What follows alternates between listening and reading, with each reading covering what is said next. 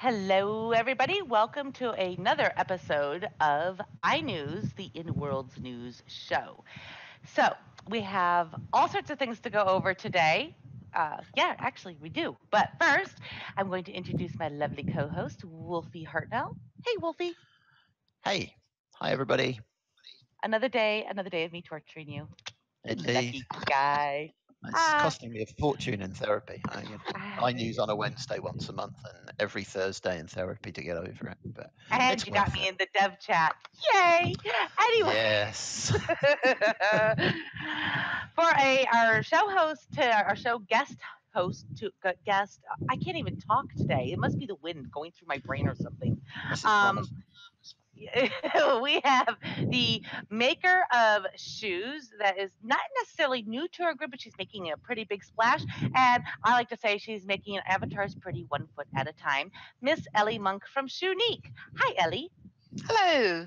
Nice to Hey, meet Ellie. you everyone. can't steal my slogan just saying But one shoe at a time, one foot at one, a time. one- one foot at a time Sorry, I'd forgotten it already. Do carry on. Really? really? This is why I torture you. You I'm wonder? the one shot in, I'll have the entire show. I'm getting it in advance. Oh my gosh. I Well, you. my actual motto is shoes to kill for. Uh, don't tell Callie that because I'm pretty sure that She she, will. threatens. Yeah, yeah, she, she will. Ellie will. yeah. Yes. So don't give her that. Please don't tell her that. Please. Well, she, because say she couldn't, she couldn't make it this week. so 'Cause we could as long as on nobody passes it on. Yeah. Yeah, I because I, have to say, so, so the feet that I'm wearing, uh, which we'll get into in a, in, in a minute here, I just gotta say to all you ladies who wear all this mesh stuff, dude, you have way more patience than I ever thought I could possibly have. Just I'm just saying. Um, so I just want you guys to know that. Uh, but first, let me let me let me do my my other thing. So, as you guys all know, last week was our week from hell for the grid in nine years. The only other time we've ever had that kind of downtime, which this actually exceeded, I actually counted up the hours, believe it or not, was when we actually moved from Carry.net to Rackspace. We were down for 22 and a half hours. Yeah, and that And- puts it in perspective. Yes, yes, that was that was many many moons ago at this point. Um, other than planned maintenance times and and taking down of regions and rollouts, etc., we really haven't had any true quote downtime. There's never been a time since then that you were not actually able to at least get to IDI or the sandboxes or some region. You were able to get somewhere, somewhere in the grid. And I also let me apologize. It's very very windy here in Panama right now, so you're going to hear some wind in my background because it's like super duper duper windy today. Um, and uh, so if, if you hear that in the background, my apologies. Um, so, anyways, as a lot of you know, we we put a Discord in place, and uh, because most of you are here, as a matter of fact, in our Discord. But if you're not, you really should. You don't have to be on there to talk to everybody or, or anything like that. But it is a great way for me to relay information when things are going on with the grid. Um, Jim's also in there, and so if he's doing rollouts and whatnot, a lot of times he'll answer questions that you guys may have right then and there. Um, so it's a really good source for just some quick information when you need it. Because let me put it to you this way: with what I was going through with Rackspace last week, it was harder for me to keep writing up forum posts than it was to just throw little bits into the actual chat to let you guys know that things were moving and things were working and and what we were doing. It's it's very fast for me to just multitask a simple sentence into you guys and then you guys can disperse the information as needed. And it really did help because we picked up a lot of new users and it was really great to see everybody come in. And like I say, you don't have to be on all the time. You can log out, just leave it there. But it is when there's something going on, it's a great way to be able to just log in and do a quick check of, hey, is anybody else having issues? So um, it's a really great, helpful group. And uh, I have to say, watching you guys just chat and joke and have there was not one single solitary mean comment at all during the 17 hours that the grid was down that night that day. So i want to give big kudos to everybody for keeping it warm and friendly and welcoming. And although we all got asked about a bazillion times is the grid down? Is the grid down? Is the grid down? You guys were awesome because your patience of just constantly answering yes it's down we know it's down she's working on it you guys were fantastic so i just i really wanted to give a big shout out and and because of all that work, I got this really cool prize on top of my head. It's it's Judy Dressler's heli heli hat, and I promised her that I would wear it for the show. And it does all these really really cool things. Like, um, okay, so first first we're gonna do this. Hear that? I- eh, I'm scanning. I, I'm scanning your ideas, man. And then you can do up things like this. It's got a whole little menu thingy. It's really cool, and she's got it for for biggies and dinkies. So if you want one, talk to Judy. I have I have no idea if she sells them or if she's giving them away, but I promised her I would wear this because it was just so cool. And it, it may not match my outfit, but I'm I'm okay with that. I, I probably should have made sure Wolf had one on too, but I'm, I'm pretty sure he doesn't have any brains in there to wake up. So it's it's all good. Oh, yeah, I went there, Wolfie. I'm keeping count. I just got even. um, so there is that. Also, uh, we have, as you all know, our InWorldz birthday uh, for nine years coming up. And I'm going to be putting out some pictures here fairly soon because the project is moving ahead and there's a really awesome build that's going into place. And I know that they have just been working their little hearts out over there. I've seen some pictures from from Matt Fo- Foxclaw and Tiana and Old Soul and so many and Rig, Rig sending me pictures like all the time, which I absolutely adore. Um, so there's uh that's that's going on. And if you don't know anything or you want to volunteer or if we need DJs, etc., please get a hold of Astoria or events coordinator or Old Soul Eldemar and they will be happy to help you out. So, did I think did I get all my did I get my announcements all done? I think I got all my announcements done. Oh no, one more. So, due to the grid outage from last week, I have put off maintenance to give you guys about a week or so of just sort of chilling and relaxing. And we will probably start maintenance up again on the servers next week. So I did not forget people. I'm just letting you know that I thought it was kind of beneficial if we just had a week of nothing going on, just everybody at their regions doing what they love to do. So there's my my announcements. So I'm just giving everybody a heads up before they ask me. So Wolf, anything from you that you want to throw out there for everybody? Um, I probably ought to mention the marketplace since it's still not back up. Um, there's some stuff came out of um, out of the testing um, stuff when the grid was off. Um, so I want to go back and rethink some of the in-world devices so I don't get spammed with, I think three and a half thousand um, emails. Um, so I'm looking at a different way of handling the errors. Um, if it goes on for very much longer, I'm going to put the old marketplace back up so that people can use that. It's not an ideal solution and it will cost me more money than I can really afford, but I don't want people to be without the marketplace any longer. So that might come back as it is for a little while while I get the new version up and running. So Okay, well, and one thing that Wolf and I talked about, um, since uh, we, we, we talked in the dev chat, and I was going through some of our, our, our things, uh, our little bits and bobs of, of things that we've put together over the years, I think sort of got forgotten about. And one of the things that, that Wolfie's going to be uh, putting in is going to be the Dream Share again. So for those of you who don't know, Dream Share is um, it's just a little package that we have that allows you to uh, put your objects into a web viewer and you can zoom it, you can turn it around, you can rotate it, do all that, and just get a good look at it. Um, yeah, D- Bensky could put a demo in the video. Um, it's really neat, and that way, so you'll have the only problem is that it doesn't do materials at this time, but we can probably fix that fairly easily.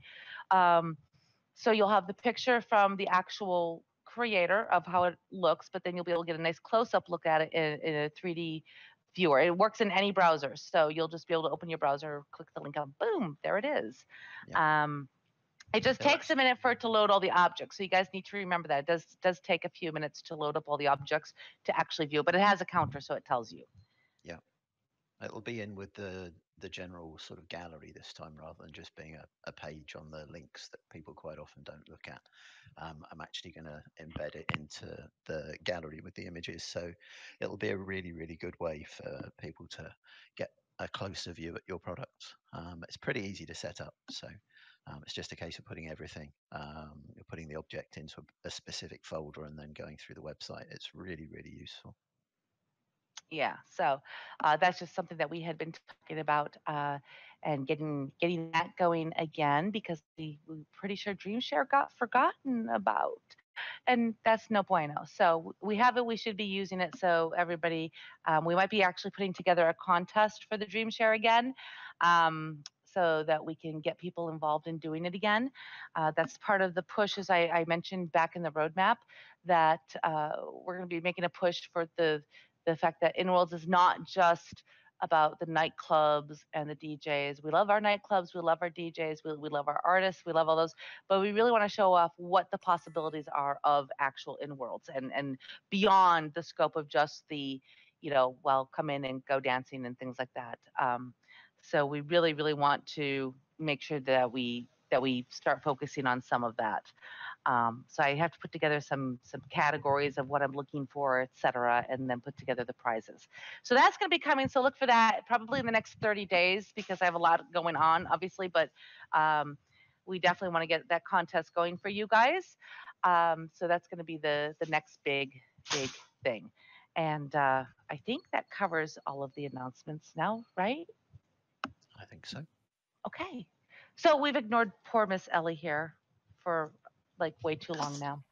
That's So okay, right. let's talk. Let's talk about my feet. So my feet are from you, obviously. and Callie gave me these feet because she knows how much I Oh. love to run around barefoot. I have two sets of these. Oh, I didn't know that. Okay. Yeah. Yes, yes. So okay, I, I have to tell you because I, I do run around barefoot all the time.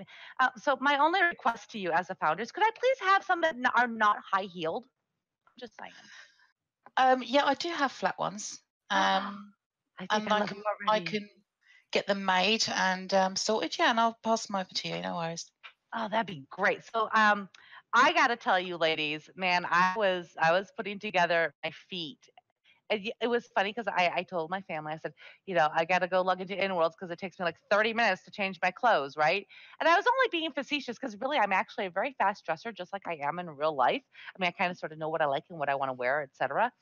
These feet took me 15 minutes. I don't know how you ladies do it with hands and feet and skin tones, and I have no idea. But you have like my yeah, you massive can position them a little bit better than that. Yeah, I It's- could. It's the I could. isn't it, that cause the problem? Because they take a little What? while to render, and you don't know whether they're working or not. And El- Ellie's big, Elenia's big. This Ellie thing is just going to confuse the hell out of me. Um, But you're already confused. Whenever, well, exactly.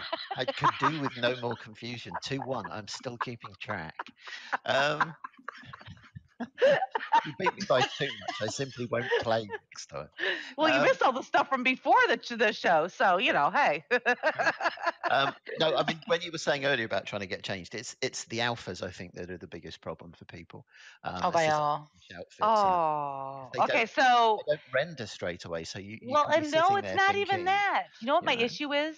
So here I am. Okay, so look at my, look at look at my outfit, right? So here I am, and Ast was really great. She's she's like, well, just just make a an alpha mask and check off the ones that you don't want, right? But there's a problem there.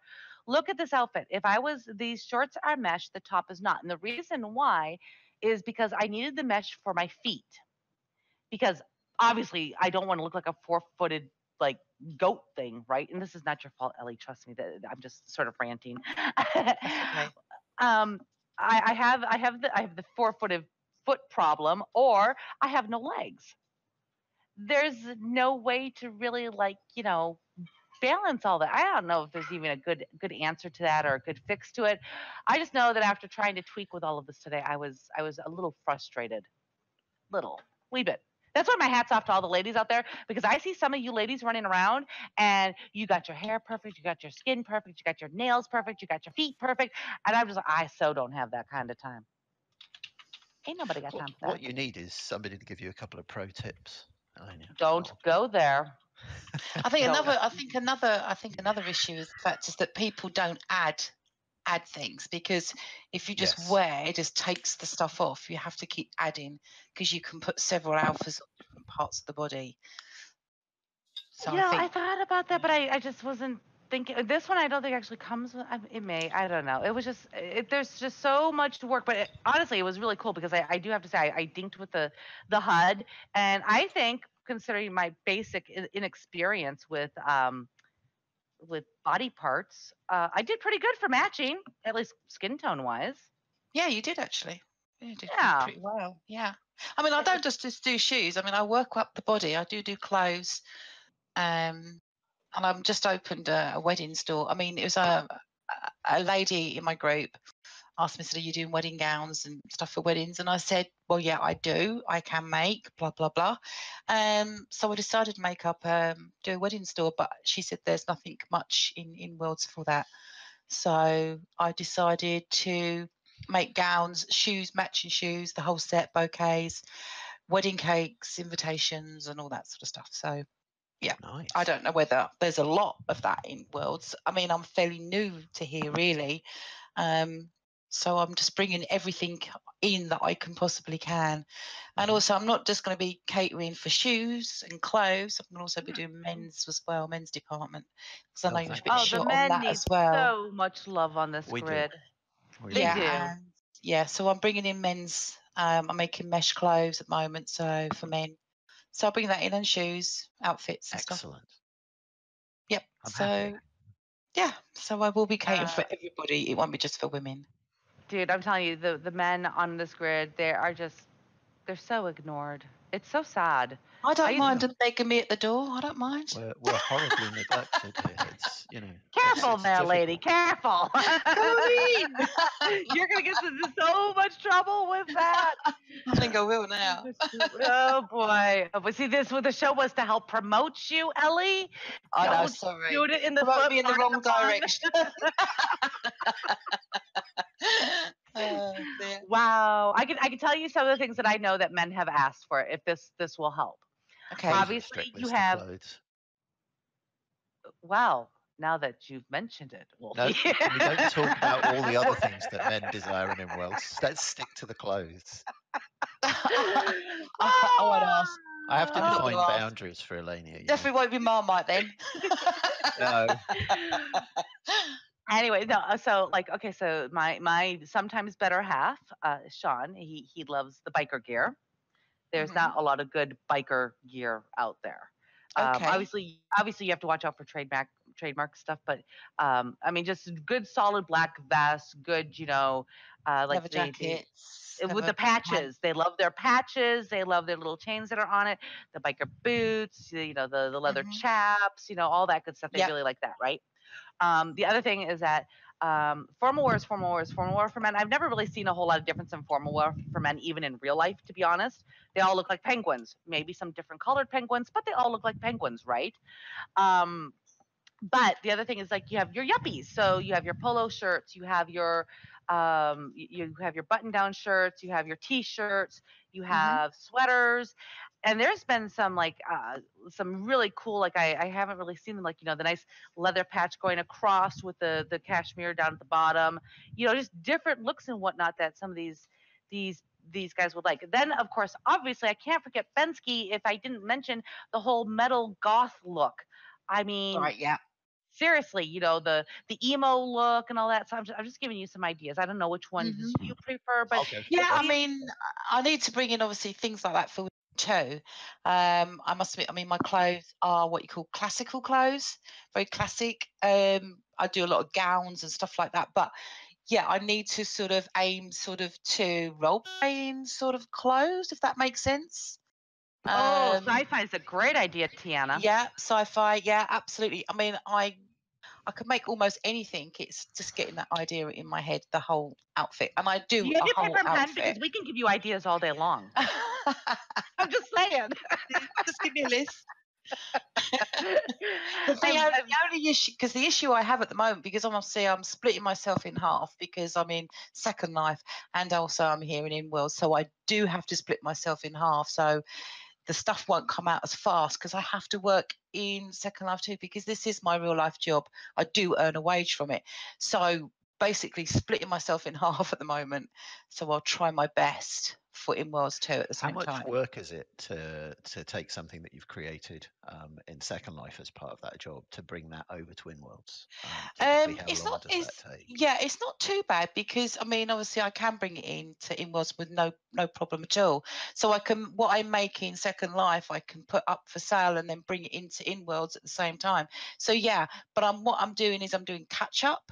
So Yeah. basically, there's an awful lot of stuff. I have got about I've got seven years worth of items. I think I've got over nearly five to ten thousand products Right. that I, I haven't even touched like 100 for InWorldz yet.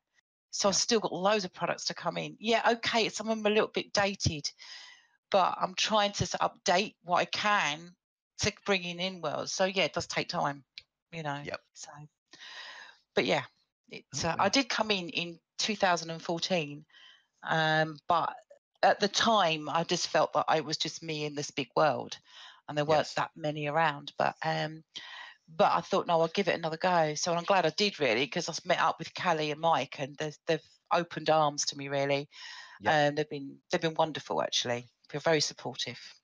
Yeah.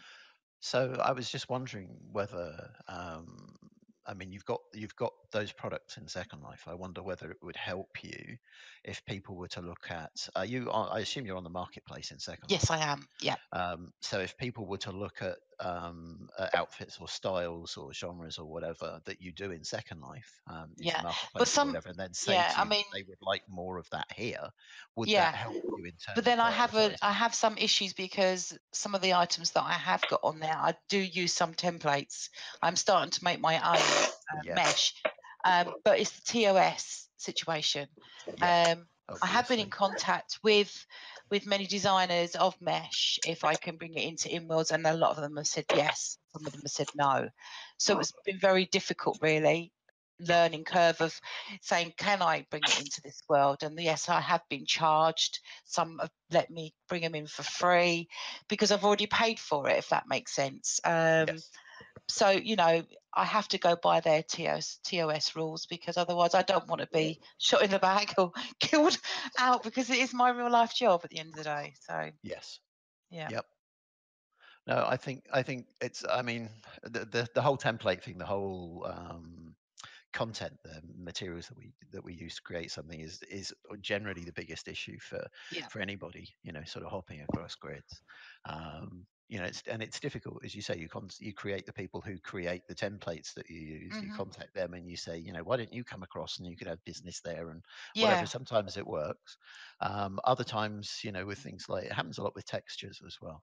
Um, and sometimes people will sort of say, well, you know, I'll give you a license. You can, you know, you can sort of save it to your drive and use it on another, um, you Yeah. know, on another grid, and that's okay. But it is a big issue. I do respect that, you know, that that's that's going to be a bit of a headache. So Yes, you're moving towards more using creating your own resources. Yeah yeah the basic that's right lexi they do i mean they they own your items that you've paid for in your inventory Yeah. um if they give you the okay to use them in another grid you're okay Yes. um but other than that if they they say to me right i'm sorry you've got to pay me 10,000 lindens to another grid then yeah i'll do so i'll do it because you know i've spent time making my own textures on them yes, and I try and make it different from what the product was originally, if that makes Yeah. sense. yes, yeah. Make it no, my own. does. Yeah. I mean, uh, uh, Teal, my partner who's out in the audience, um, she creates a lot of, um, you know, a lot of stuff using component sculpts or textures. Um, Mhm. But she's become increasingly creating her own textures for things, um, partly Yeah. because it differentiates you from other people who might be using the same Yeah.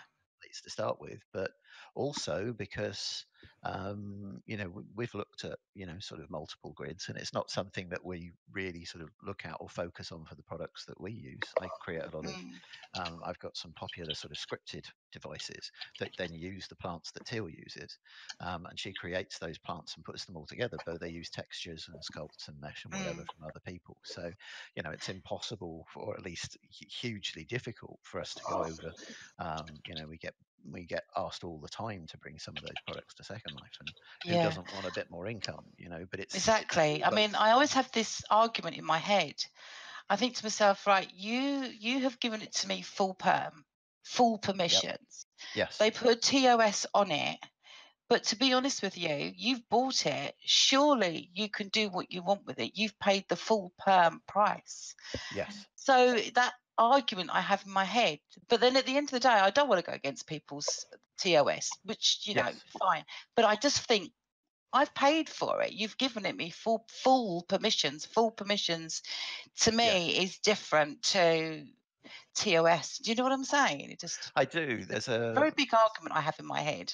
Yeah, that's. I I mean, I think be- it. I think it's covered most clearly by um, the people that sell textures through websites um, that actually, you know, specifically target virtual worlds. So you can buy um, a set of textures from the website, and the license will say that you can only use this on one grid, or you, you know, you pay a Mm. little bit more and you use it on, you know, on multiple grids. Yeah. Um, I'd like to see more of that kind of thing set up. So rather than having to buy all that stuff in world, um, I mean, you can import sculpts, you can import mesh. Um, to have that ability where we have more people that sort of sell um, digitally, so you can import it into whatever worlds. And even if you pay a little bit extra, it's not like double the price to use on Mm, various grids. Even yeah. if you pay a little bit extra for that license, um, I think that would open up a lot more sort of um, creator multi-grid kind of um, options for people Yeah, because 'cause it I think, well, to be I- that license. Yeah, and another another sort of argument I have in my head is that I am one person. Okay, I have the same name avatar in both worlds. Yep. I am the same person in real life. I've oh. paid it actually every is is is or whatever is is or Linden's. It's Yep. still come from real life money, which is out of my pocket in real life. So I'm thinking I've paid it once. Why do I have to pay it again? yes, Does that make sense? And I have this another argument in my head. You know. you know but- it's it, it's difficult and i think that i just think there aren't a lot of people seeing the opportunity maybe maybe a lot of creators on second life just aren't interested in the other grids so they have that kind of you know blanket sort of like you can't use Yeah, any other grid Your hands are Um, tied. others kind of Yeah. have an equal kind of blanket option of saying yes you can use it on any other grid as long as you bought it full perm and it seems to be a kind of a split there doesn't seem to be that encouragement to think well you know give somebody the option of being able to buy it for multiple grids and you know charge them an extra I don't mind what I pay, to be honest Exactly. with you. I, Yeah. I don't mind if they put like 5,000 lindens, 10,000 lindens. It, know, as long as I know that I can do what I want with it, totally, Yes. you know, sell it in thousands of grids and do what I want with it. Do you know what I mean? Yeah. As long as I don't sell it as full perm, I'm fair enough on that, you know? Yep. But that is why I'm starting to do my own mesh stuff now because Yes. of that. Yep. Um, It's a big learning curve, I can tell you. Um, yeah huge. Um, you know, I'm actually learning retopologizing at the moment. I can Uh-huh. make the stuff, I can rig it, I can weight it. It's the retopologizing. well, Yes. it's a long old bleeding word, but there you go. Um, yeah, so, so so that's a big bloody it's, learning it's a very complex set of skills um, Oh, you know I mean, making eh, something it's- basic in mesh yeah. or whatever is Yeah. is it's, it's relatively harder in easy, but- Second Life but- because there are so many sizes. Whereas in this world, I'm lucky in a sense because there's only five sizes, which is the average large, medium, small, which is Yeah. easy. But the other world, it's like, oh my God, I've got Maitreya, I've got Belleza, I've got TMP, I've got Slink. I- oh my Yeah. God, I have on my floor about 15 different types of sizes. And I'm like, oh my God, I can't do this. This is Yep. ridiculous. so if you, if you could if you could improve one thing in terms of your process of creativity um, what would it be To improve, um, yeah something technically that could you know suddenly turn up that would save you a huge amount of time or effort you know particularly something that you really hate Oh, if there was if there was just one program, a one mesh program, because you use so many.